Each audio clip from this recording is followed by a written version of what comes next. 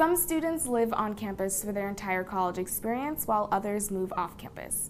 If you choose that, it's important to stay involved and figure out ways to participate in your campus community. We spoke to some students about what it's like to live off campus. Since coming to college, I've lived in a lot of different places.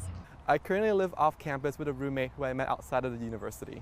I started living in my fraternity house and then I moved for the last two years of my college experience to a house with several of my friends. I've had the great opportunity of experiencing sorority chapter housing and I've been able to live off campus in a shared house.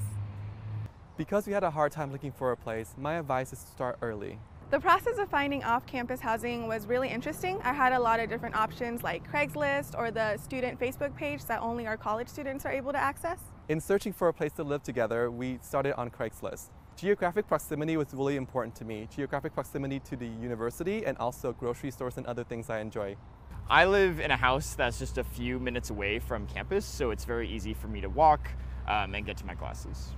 I used to live one hour away, which made it really hard to be involved on campus. My commute consisted of the light rail and then the bus, so I had to coordinate both the light rail system and the bus system. I had to budget my time wisely because if I left campus too late, the buses will stop running. Take advantage of your commute to study, to read, and take advantage of your commute to do homework.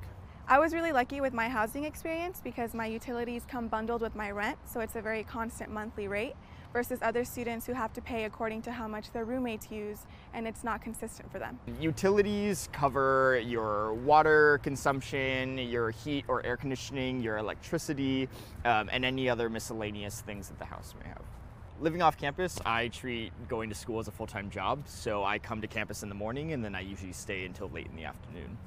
I got an on-campus job, so I was able to manage my time so where I could drop my stuff off there in the morning and then pick it up on my way out. There are a lot of facilities on campus that have kitchens and kitchenettes, so I would just bring my microwavable food and have lunch and dinner on campus. I was able to find a commuter lounge where I could meet other commuting students, talk about bus routes and how to get to campus, and also store my food in the refrigerator. Living off campus actually drove me to get more involved because I wanted to stay on campus until the end of the day where I could just go home and relax. Finding my network on campus was very difficult. I sought out a lot of leadership opportunities on campus, so I joined leadership clubs where they actually provided me with a mentor that really helped me with the different transitions. I started off small in my fraternity and then I branched out to campus and found larger uh, leadership opportunities. I found a position in a research lab where I was able to apply the skills I was learning in the classroom in the real world.